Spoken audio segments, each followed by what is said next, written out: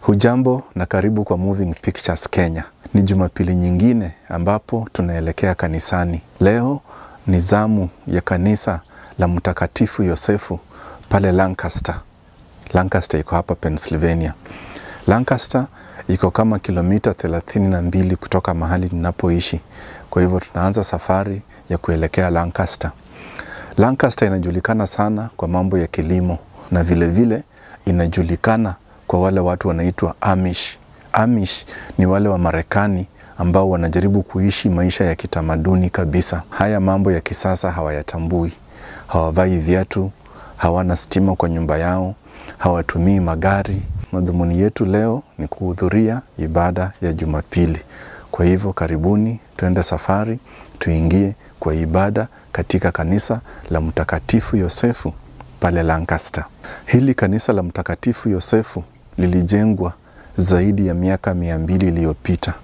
Kwa hivyo ni kanisa ambalo limesheheni historia na ni jengo moja ambalo ni la kuvutia sana. Mimi naitwa Bonventure ama ukipenda niite BC, na hii ni Moving Pictures Kenya, connecting people, inspiring Africa.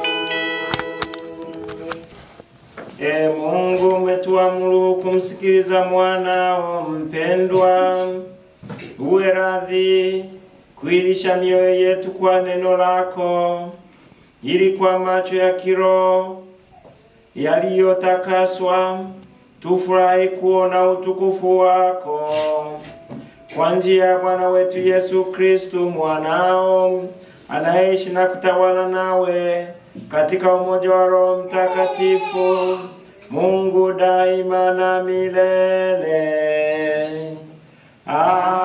Amina. Somo la kwanza. Mungu alimwahidi Ibrahimu kuwa atampa mtoto mwanzo wa taifa kubwa. Alipomtaka mtoto, alidaiwa amchinje atolee sadaka. Je, taifa litatoka wapi? Kumbe Ibrahimu anamwamini Mungu bila kufahamu, ni mfano mkuu wa imani. Ni somo katika kitabu cha Mwanzo sura ya makumi mbili na mbili mstari wa kwanza hadi wa pili tena mstari wa tisa tena mstari wa kumi hadi wa kumi na tatu tena mstari wa kumi na tano hadi wa kumi na nane Mungu alimjaribu Ibrahimu akamwambia, e Ibrahimu, naye akasema mimi hapa. Akasema, umchukue mwanao, mwana wako wa pekee umpendaye Isaka, ukaende zako mpaka nchi ya Moria, ukamtoe sadaka ya kuteketezwa huko juu ya mlima mmojawapo nitakaokuambia. Wakafika mahali pale alipoambiwa na Mungu.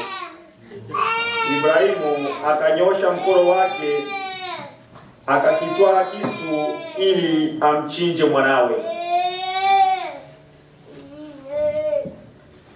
Ndipo malaika wa Bwana akamwita kutoka mbinguni akasema, Ibrahimu, Ibrahimu. Naye akasema, mimi hapa. Akasema, usimnyoshee kijana mkono wako, wala usimtendee neno, kwa maana sasa ninajua ya kuwa umemcha Mungu, iwapo hukunizuilia mwanao mwanao wa pekee. Ibrahimu akainua macho yake akaangalia, na tazama, kondoo mume yuko nyuma yake, amenaswa pembe zake katika kichaka. Basi Ibrahimu akaenda akamtwaa huyo kondoo akamtoa awe sadaka ya kuteketezwa badala ya mwanawe. Malaika wa Bwana akamwita Ibrahimu mara ya pili kutoka mbinguni, akasema, nimeapa kwa nafsi yangu, asema Bwana, kwa kuwa umetenda neno hili, wala hukunizuilia mwanao mwanao wa pekee.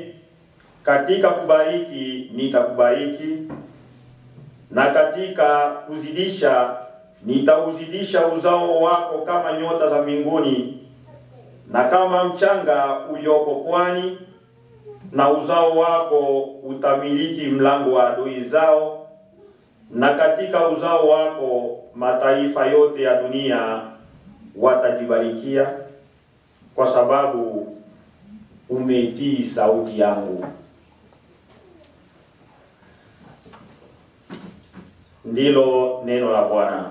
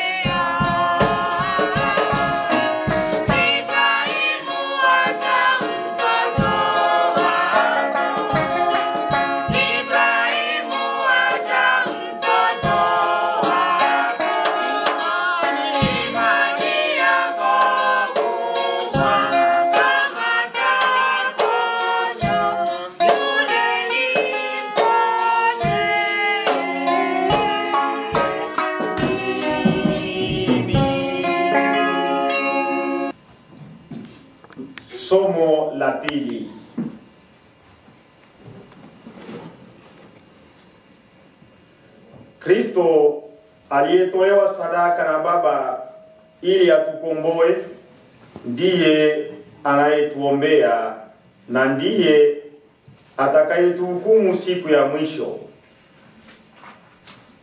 Je, atatutupa? Tuna uhakika wa wokovu wetu ndani ya Kristo. Ni somo katika waraka wa Mtume Paulo kwa Warumi sura ya nane mstari wa makumi tatu na moja hadi makumi tatu na nne.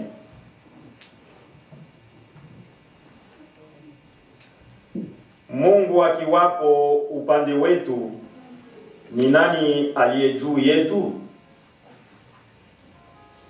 Yeye asiyemwachilia mwana wake mwenyewe, bali alimtoa kwa ajili yetu sisi sote, atakosaje kutukirimia na mambo yote pamoja naye? Ni nani atakayewashitaki wateule wa Mungu? Mungu ndiye mwenyewe atakayewahesabia haki ya watu wake. Ni nani atakayewahukumia adhabu? Kristo Yesu ndiye aliyekufa na na zaidi ya hayo amefufuka katika wafu, naye yuko mkono wa kuume wa Mungu, tena ndiye anayetuombea.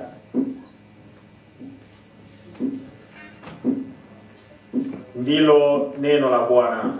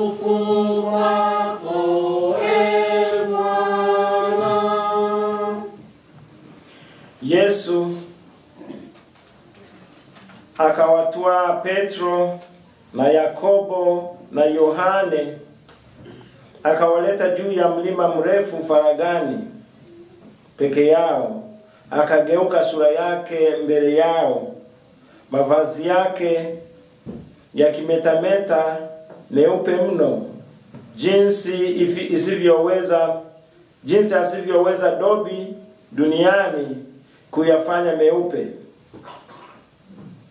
Wakatokewa na Eliya pamoja na Musa, nao walikuwa wakizungumza na Yesu.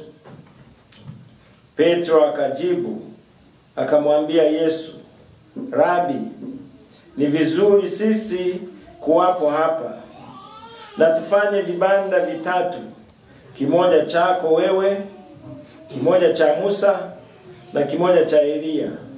Maana ya kujua la kunena, kwa kuwa waliingiwa na hofu nyingi. Kisha likatokea wingu likawatia uvuli, sauti ikatoka katika lile wingu, huyu ni mwanangu mpendwa wangu, msikilizeni yeye. Mara hiyo walipo walipotazama huku na huku, hawakuona mtu pamoja nao ila Yesu peke yake.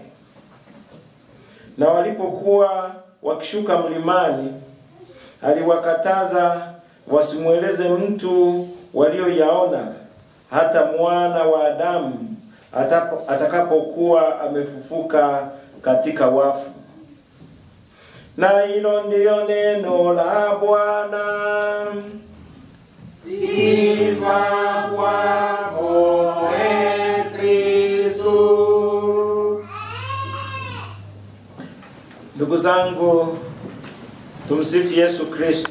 Milele amina. Leo tunaadhimisha Jumapili ya pili ya Kwaresma. Katika kipindi cha Kwaresma tunazingatia mambo yafuatayo: toba, kutubu dhambi zetu, kusali, hata kusali zaidi, halafu kufunga na kutenda mambo mema kuwasaidia watu wengine wenye shida, kuwaombea. Kwa hiyo katika kusaidia watu tuna tunamfurahisha Mwenyezi Mungu. Ndiyo maana Yesu alisema lolote ulilomtendea yule aliye mdogo ulinitendea mimi.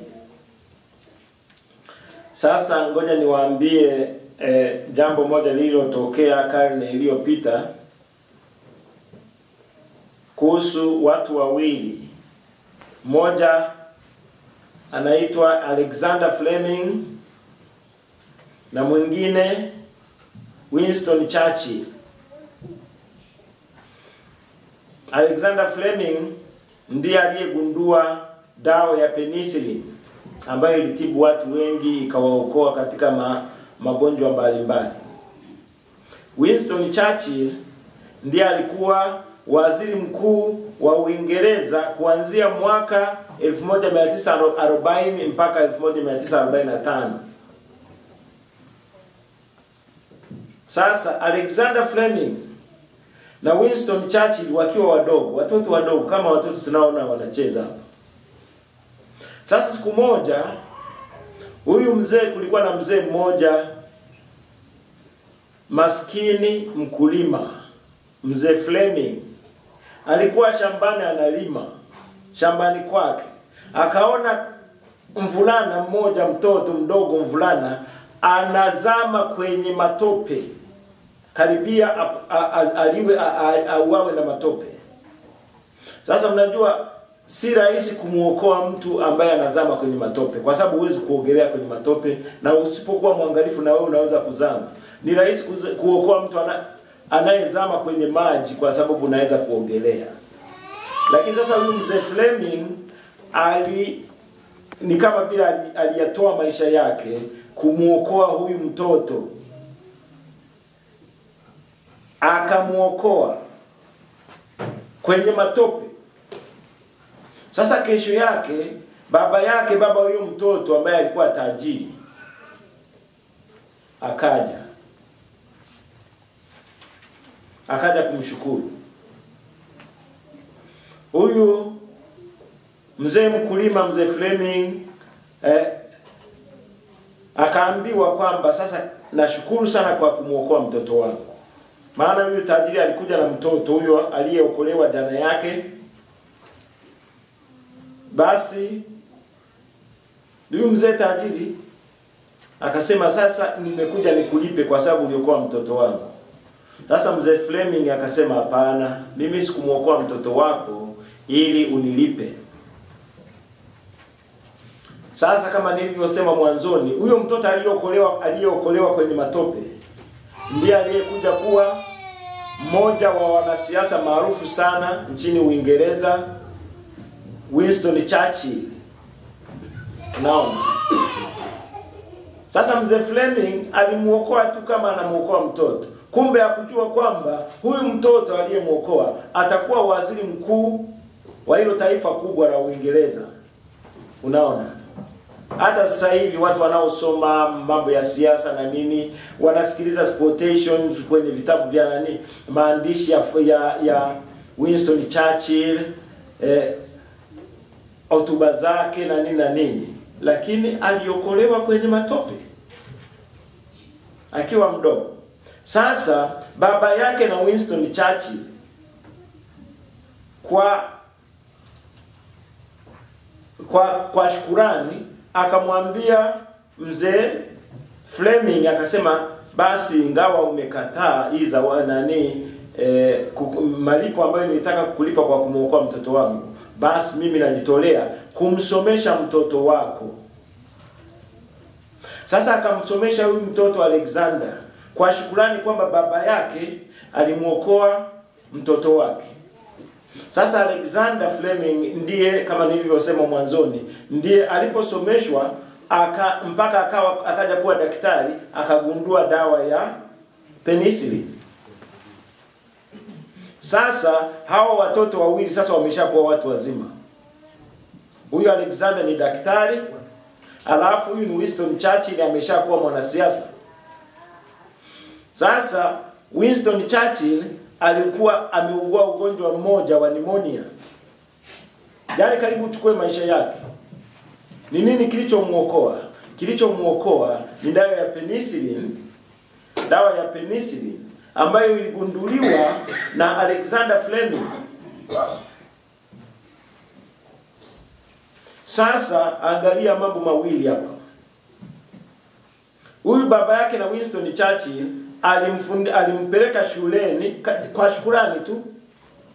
Kumbe huyu Alexander Fleming baada ya kusoma akawa daktari, akavumbua hiyo dawa ya penicillin, ndio ikaja kumwokoa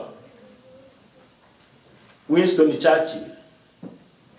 Kwa hiyo hili ni fundisho la maisha kwamba tunapofanya yaliyo mema, hasa kwa wale ambao ni wadogo, hatujui kesho yake watakuwa watu wa aina gani. Anaweza akawa ni mtoto labda anaonekana anacheza na matope, lakini kwa mpango wa Mungu, Mungu ameshapanga baraka kubwa sana kwa huyu mtoto. Kwa hiyo unamsaidia huyu mtoto, kumbe hujui kwamba kesho atakuja kuwa mtu wa, ma, ma, wa maana, mtu maarufu akusaidie wewe. Au unamsaidia huyu mtoto akiwa mdogo, lakini baadaye atakuja kusaidia mtoto wako. Unaona? Kwa hiyo hii, hii hii hadithi story ya, ya Alexander Fleming na Winston Churchill inatufundisha tufanye wema. Fanya wema, mengine mwachie Mwenyezi Mungu. Sasa katika kipindi cha hiki cha Kwaresma ndio tunaona wema wa Mungu kwamba alimtoa mwanaye ili atuokoe katika dhambi. Tumeanza na somo la kwanza, tunasikiliza jinsi Mungu alivyomjaribu. Alimjaribu tu Ibrahimu, akasema nitolee mtoto wako kama sadaka. Lakini kwa kuwa Ibrahimu alimwamini Mungu na akakubali kumtii Mungu, sasa baadaye ndio tunakuja kuona Mungu alivyosema, kwa kuwa umejali, ume, umependa kutenda kitendo tendo hili, kwa hiyo mimi nitakubariki, nitakubariki sana na hata mataifa yote, watu wenye imani wataipima imani yao kutoka kwako. Utakuwa ni baba wa mataifa ya wale wote ambao wataamini. Kwa hiyo ndio jambo ambalo tunafundishwa leo, ndugu zangu, kwamba katika kipindi cha Kwaresma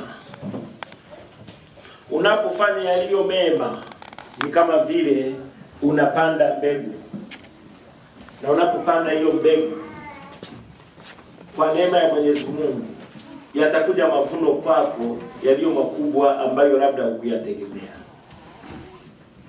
Na washukuruni nyote ambao mmekuwa wakarimu. Watu wanatoka huko kwenye mataifa yetu, wengine wanakuja kama wakimbizi, mnawapokea, mnawa ruhusu wanakaa kwenye nyumba zenu, lakini baadaye huwezi kujua huyo mtu au labda ni baba au mama amekuja na mtoto. Huyu mtoto Mungu anaweza akambariki, kesho yake huyo akaja kuwasaidia vile watoto wako, kama Alexander Fleming alivyomsaidia akaokoa maisha ya Winston Churchill. Kwa hiyo tuzidi kumwomba Mwenyezi Mungu atubariki na kutuongoza, tumtumainie na kumtumikia siku zote, kwa jina la Baba na la Mwana na la Roho Mtakatifu. Nasadiki kwa Mungu mmoja, Baba Mwenyezi, muumba wa mbingu na dunia na vitu vyote vinavyoonekana na visivyoonekana. Na sadiki kwa Bwana mmoja Yesu Kristo, mwana pekee wa Mungu aliyezaliwa kwa Baba tangu milele yote, Mungu aliyetoka kwa Mungu, mwanga kwa mwanga, Mungu kweli kwa Mungu kweli, aliyezaliwa bila kuumbwa, mwenye nyungu mmoja na Baba, ambaye vitu vyote vimeumbwa naye alishuka toka mbinguni kwa ajili yetu sisi wanadamu na kwa ajili ya wokovu wetu, akapata mwili kwa uwezo wa Roho Mtakatifu, kwake yeye Bikira Maria akawa wanadamu akasulubiwa kwa ajili yetu sisi kwa mamlaka ya Ponsio Pilato, akateswa, akafa, akazikwa, siku ya tatu akafuka kadri ya maandiko akakaa mbinguni, ameketi kule kwa Baba. Atakuja tena kwa utukufu kuwahukumu wazima na wafu, na ufalme wake hautakuwa na mwisho. Na sadiki kwa Roho Mtakatifu, Bwana analeta uzima, atokaye kwa Baba na Mwana, anayeabudiwa na kutukuzwa pamoja na Baba na Mwana, aliyenena kwa kinywa vya manabii na sadiki kwa kanisa moja takatifu katoliki la mitume na ungama ubatizo mmoja kwa maondoleo ya dhambi na ngojea na ufuo wa wafu na uzima wa milele ijayo. Amina. Ndugu zangu, tumwombe Mungu Baba Mwenyezi asikilize kwa wema sala zetu kwa ujumbe wa Yesu Kristu Bwana wetu.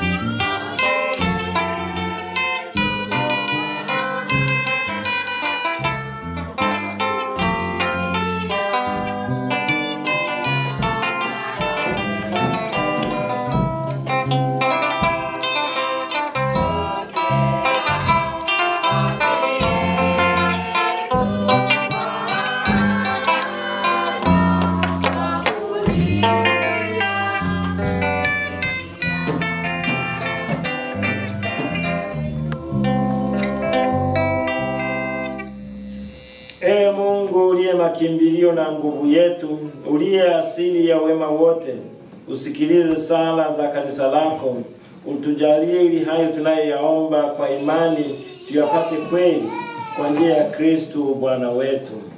Amina.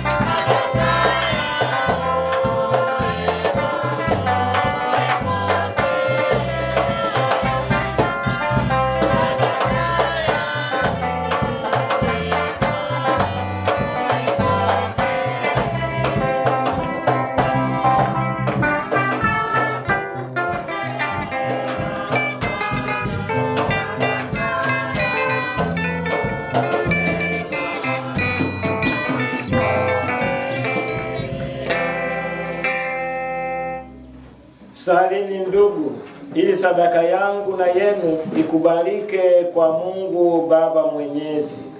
Bwana apokee sadaka mikononi mwako kwa sifa na utukufu wa jina lake na kwa manufaa yetu sisi na kanisa lake lote takatifu.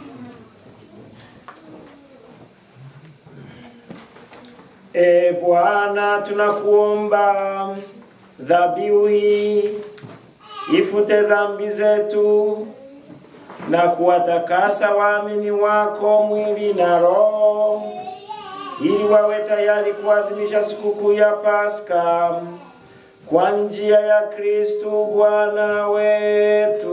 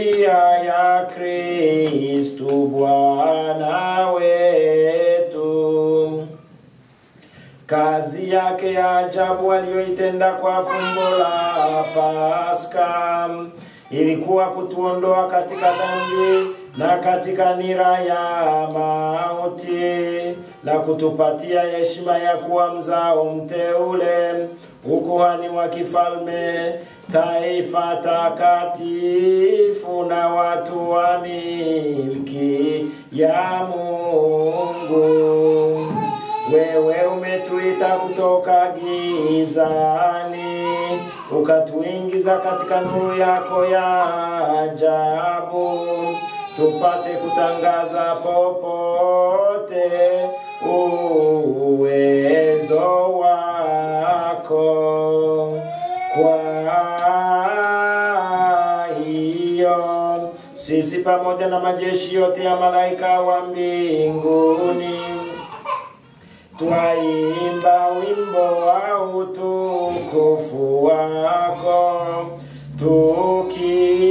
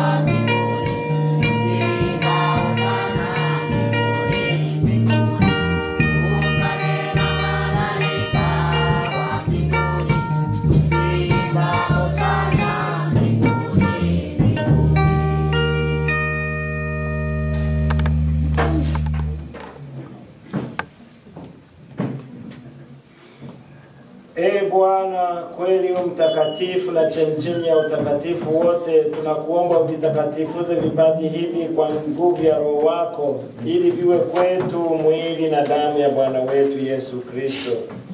Yeye alipotolewa na kuingia kwa hiari katika mateso yake, alitwaa mkate, akashukuru, akaumega, akawapa wafuasi wake akisema, twaeni mle nyote, huu ndio mwili wangu utakaotolewa kwa ajili yenu.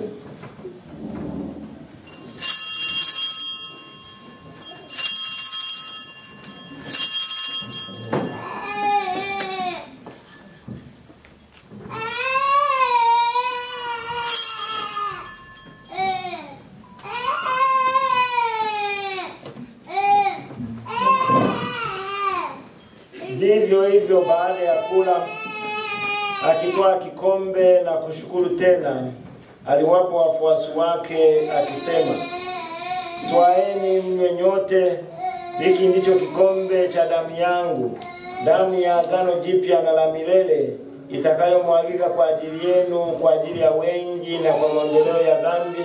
Fanyeni hivi kwa ukumbusho wangu.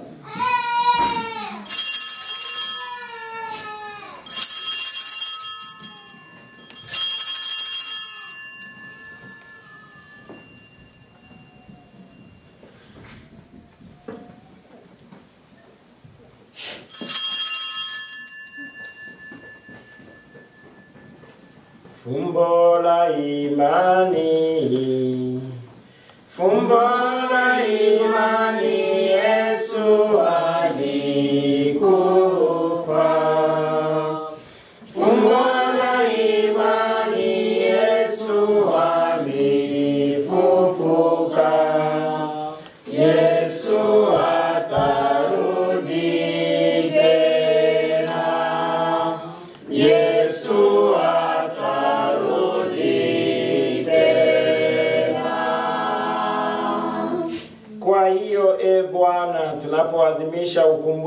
kifo na ufuko wake mwanao, tunakutolea mkate wa uzima na kikombe cha wokovu. Tunakushukuru kwa kuwa umetustahilisha kusimama mbele yako na kukutumikia. Pia tunakusihi kwa unyenyekevu, ili kwa kushiriki mwili na damu ya Kristo tukusanywe na Roho Mtakatifu tupate kuwa jamaa moja.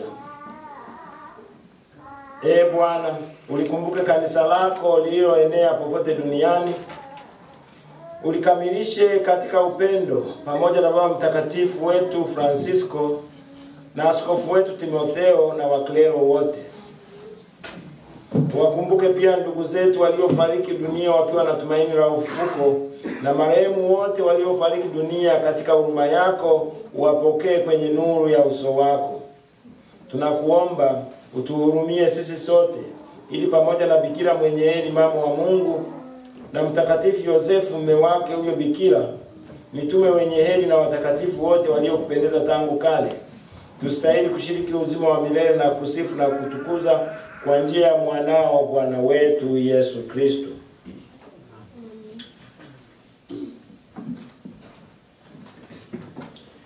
Kwa njia yake pamoja naye na ndani yake, ewe Mungu Baba Mwenyezi, katika umoja wa Roho Mtakatifu, unapata heshima yote na utukufu milele na milele. Amina. Kwa kulitii agizo la Mwokozi wetu na kufuata mafundisho yake ya kimungu, tunathubutu kusema: Baba yetu uliye mbinguni, jina lako litukuzwe, ufalme wako ufike, utakalo lifanyike duniani kama mbinguni. Utupe leo mkate wetu wa kila siku, utusamehe makosa yetu kama tunavyowasamehe na sisi waliotukosea, usitutie katika kishawishi, lakini utuokoe maovu. Ee Bwana, tunakuomba utuokoe katika maovu yote, utujalie kwa wema amani maishani mwetu, kusudi kwa msaada wa huruma yako tuopolewe daima na dhambi, wala tusifadhaishwe na jambo lolote, tunapotazamia tumaini lenye heri na ujio wa mwokozi wetu Yesu Kristo. kwa kuwa ufalme ni wako na nguvu na utukufu hata milele. Ee Bwana Yesu Kristo, uliyewaambia mitume wako, amani na waachieni, amani yangu na wapa, usizitazame dhambi zetu, ila tu imani ya kanisa lako. Upende kulijalia amani na umoja kama yalivyo mapenzi yako, unayeishi na kutawala daima na milele. Amen. Amani ya Bwana iwe daima nanyi. na iwe rohoni mwako. Mpeane amani.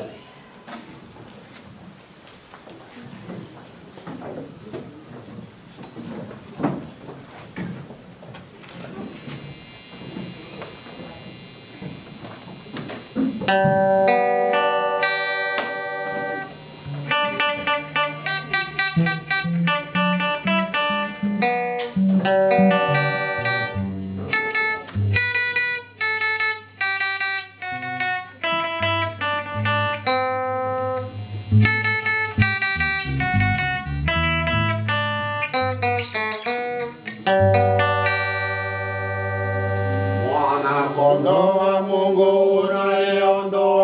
unayeondoa dhambi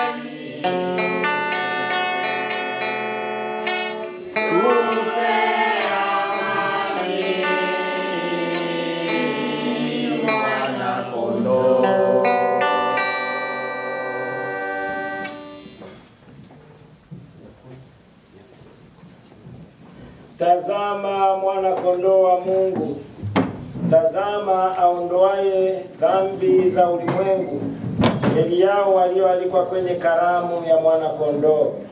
Ee Bwana, sistahili iye kwangu, lakini sema neno tu na roho yangu itapona.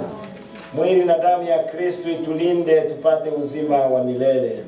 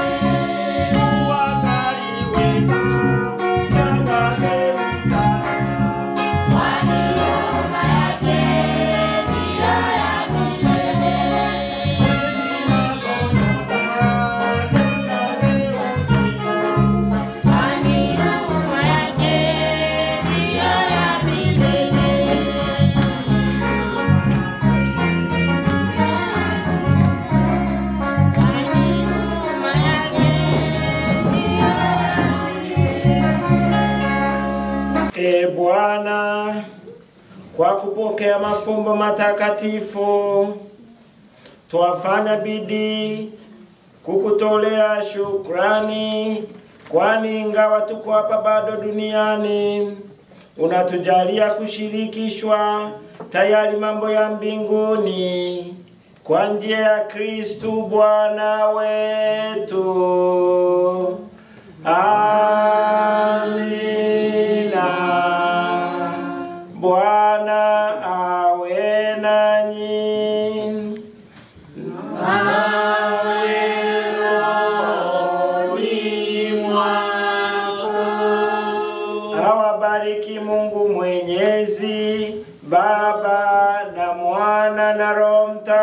Mtakatifu. Amina.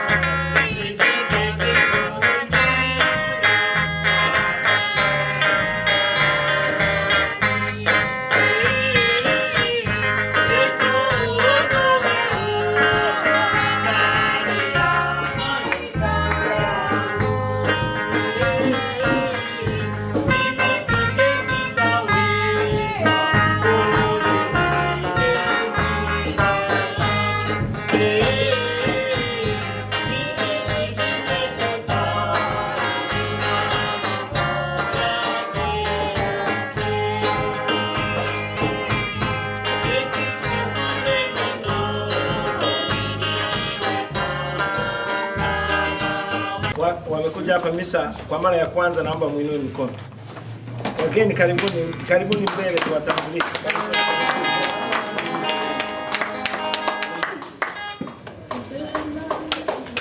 Jambo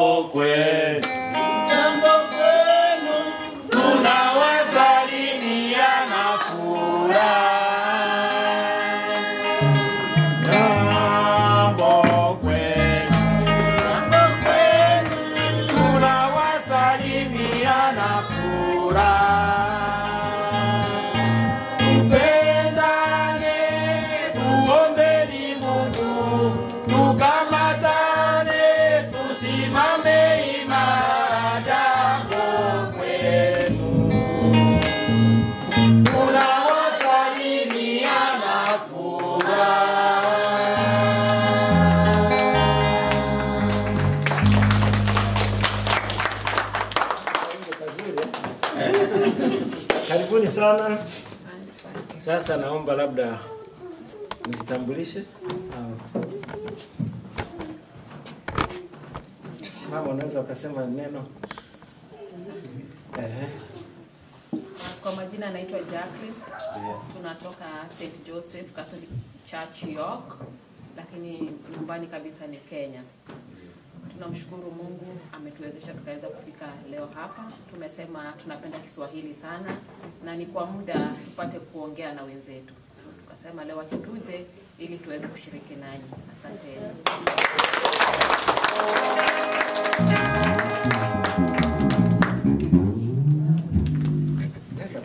Lako. Kwa majina naitwa Brian. Brian. Tumsifu Yesu Kristo. Yeah. kwa majina naitwa Cindy, tumetoka St. Joseph Catholic Church, York. Thank you.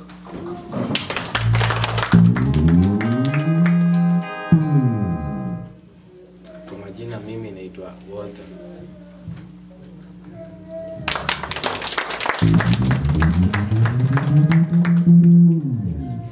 Tumsifu Yesu Kristo. Yeah, amina. Mimi si mgeni kwa sababu nafikiri tushapatana na nyinyi. Mpiga solo tulipatana na yeye York, mpiga bass tulipatana, mpiga rhythm, hata yule wa drums. Huyo hakuwa. Alafu huyo nimeona anacheza vizuri, ni vile tuko kwa rhythm sasa anajizuia kidogo. Kwa hivyo mimi naitwa Bonaventure, tumetoka St. Joseph's York. Hawa ni watu wangu, mke wangu, alafu msichana mkubwa, alafu kuna kijana namba 2 alikuwa ameenda shule, alafu huyu na huyu walizaliwa siku moja.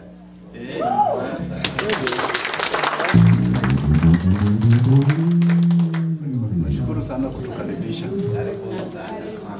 Kwa hiyo karibuni sana familia ya ndugu Bonaventure.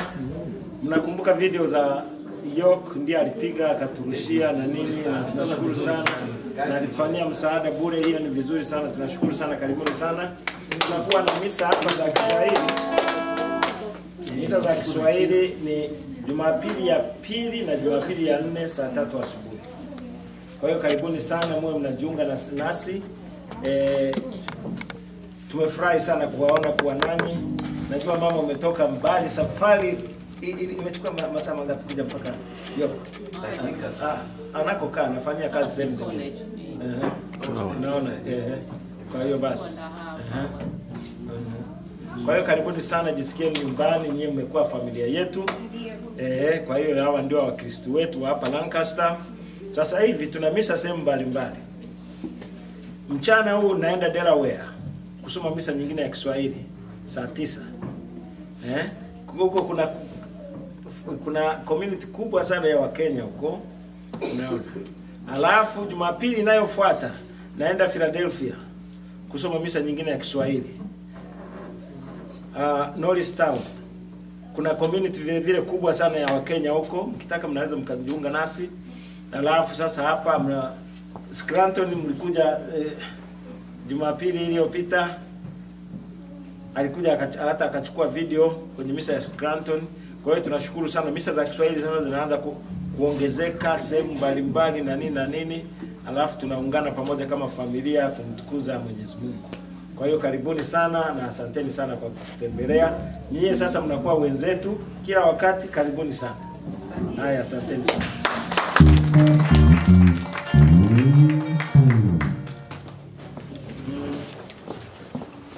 Kwa hiyo ningependa tu kuwashukuruni nyote mliokwenda York Jumapili ile iliyopita, ile nyingine tarehe kumi na moja. Mambo yalikuwa mazuri sana, mambo yalikuwa mazuri sana. Kwa hiyo mlimba vizuri, ndugu Bonaventure alichukulia video nzuri, watu wote wakafurahi.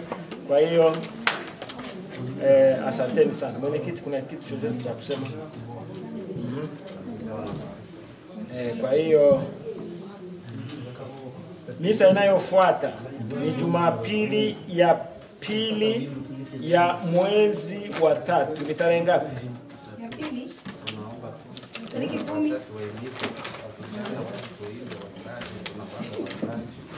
Kwa hiyo tunaomba tunaomba watu wazima wote ambao mnaweza kuimba, njooni kwenye kwaya. Hatutaki kwaya ya watoto. Aa, watoto wakija sawa, wao wanaambatana na wazazi, lakini watu wazima Unaona, wale wenye vipaji vya kuimba, karibuni karibuni, jiunge na kwaya zaidi zaidi, tuimbe, tumtukuze Mwenyezi Mungu. Hata sasa hivi natunga nyimbo, kuna wimbo mmoja wa kushukuru, kuna wimbo mmoja wa kushukuru, nitawa- nita labda. Tutaimba. Eh, Sawa. Kwa hiyo karibuni sana.